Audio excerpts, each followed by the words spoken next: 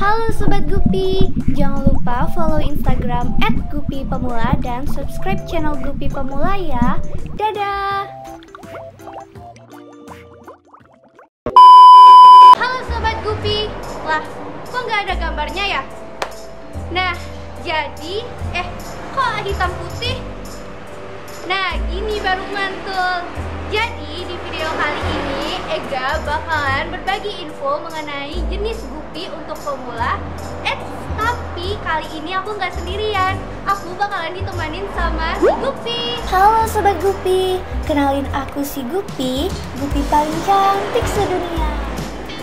Hmm, balik lagi ke topik awal tadi.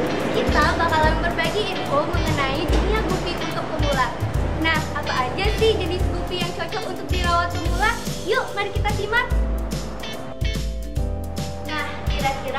aja nih tips pertama untuk pemula dalam memelihara gupi? Tips yang pertama adalah bagi kalian sobat gupi pemula, usahakan untuk tidak memelihara jenis gupi dengan genetik albino. Karena gupi yang memiliki genetik albino lebih rentan sakit. Seperti sifat makhluk hidup lainnya yang memiliki genetik albino akan memiliki imun yang lemah sehingga lebih mudah terserang penyakit. Oh, begitu. Jenisnya apa-apa aja tuh? Mungkin kalian bisa coba jenis HB White, HB Blue, Bluegrass, HB Red, Silver Lace, Red Lace, Full Black, Black Cobra, MSSBT, Japan DS, Yellow Top Sword, dan lain-lain. Jenis-jenis ini selain memiliki imun yang lebih kuat, juga mudah sekali loh untuk diternakin. Wah, mantul. Lalu tips berikutnya apa? Tips yang kedua adalah jika kalian tetap ingin mencoba dan penasaran untuk memelihara gupi dengan genetik albino, kalian bisa coba gupi dengan kualitas grade B.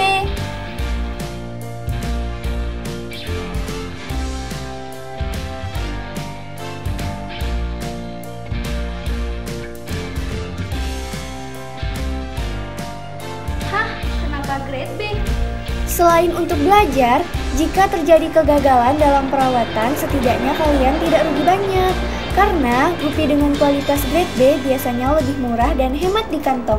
Jika nanti kalian sudah bisa merawat gupi dengan kualitas grade B, kalian bisa naik tingkat untuk mencoba pelihara gupi dengan kualitas grade A atau grade A++, bahkan yang lebih tinggi lagi. Tunggu, tunggu, tunggu. Dari tadi kita ngomongin gupi dengan kualitas grade A dan grade B. Emang gimana sih cara Gimana kalau kita bahas di next vlog? Hmm, boleh juga. So, buat sobat Gupi yang penasaran gimana sih cara ngebedain Gupi dengan kualitas grade A dan grade B, kita bahas di vlog selanjutnya ya. Dadah! Oh ya, jangan lupa untuk like, comment, dan subscribe terus share ke teman-teman kalian semua supaya channel ini semakin berkembang dan banyak orang yang mendapatkan info seputar dunia Gupi. Sampai jumpa lagi. Bye bye Gupi lovers. Glub pure. Jadi hari ini kita aku jadi di kita bahas kualitas Gupi grade A dan grade. Jadi kita gimana sih ngebedain kualitas